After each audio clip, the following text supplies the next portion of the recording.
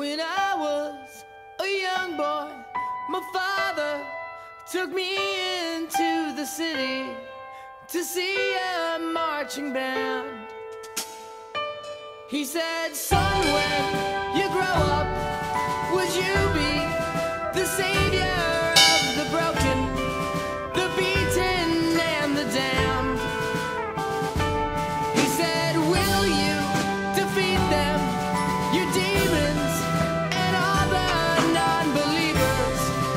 plans that they have made.